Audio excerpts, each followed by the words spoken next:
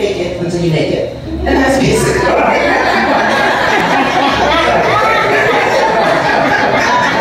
yeah, you know, you fake it until you make it. You know, you say the sorority prayer, and you know, we're talking about hope and faith. You know that God will make a way out of no way at some point in time. He will turn it around, and He will set your feet on solid ground. Solid ground.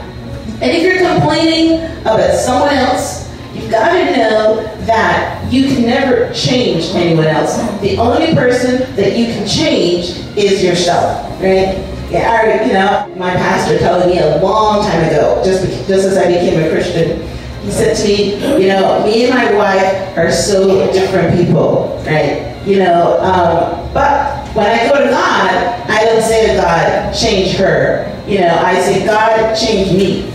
And that's true. And I've used that as my foundation in my relationships. And once you change yourself, you would see the difference that, that's opened up. Because the only person that you can actually change is you.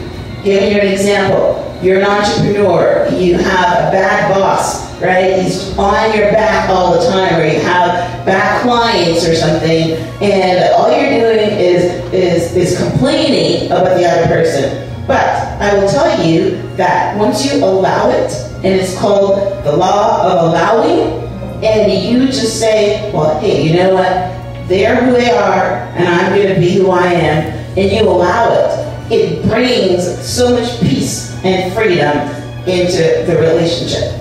So all you gotta do is concentrate on what you are doing and saying. Right? Stop reacting to stimuli and see what happens. Okay. The fourth technique is to notice when you're stuck and distract yourself. And you come back to the problem later. You write out options and solutions. You write out the worrying situation.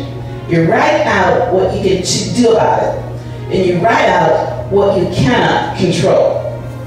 And the most successful way to get unstuck is when you can control your thoughts. Whenever you're stuck, or whether you're stuck or not, is thinking make it so. As a man thinketh, so is he. And a lot of times you look at two situations, you look at one situation, and two people are seeing it exactly, or not seeing it exactly the same way. It's how you interpret it, it's how you internalize it, and it's how you respond to it. So your internal thoughts and your internal dialogue um, are so important. It's your self-thoughts that um, is important. And it's never the situation, right? It is always your feelings about your situation. Your thoughts influence your emotions. So to get unstuck and to think differently, you have to change your emotions. You have to change the way you feel about something, right? You know, sometimes you think someone should respond to your your your blocks or to your blessings or something, and all you need to do is move yourself and your ego out of the way. He thought about it and he agreed, but he had nothing to lose. So he went and dipped himself in the River Jordan, and he came out perfect and clean. He almost missed his blessing by reacting to what he considered disrespect. Some of us are just stuck because of our poisonous thinking. Your thoughts can poison your spirit, and then you never see the positive and only negative.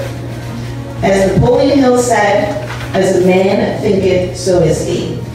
The Bible puts it another way. Your thinking makes it so.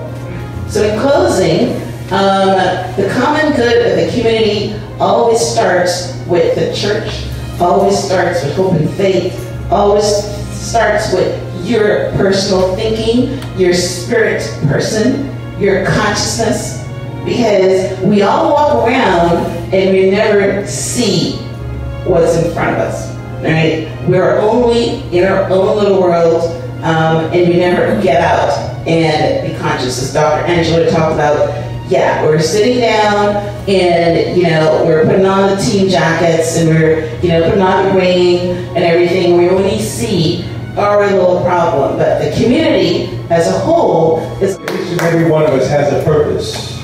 What really holds us back is our attitude.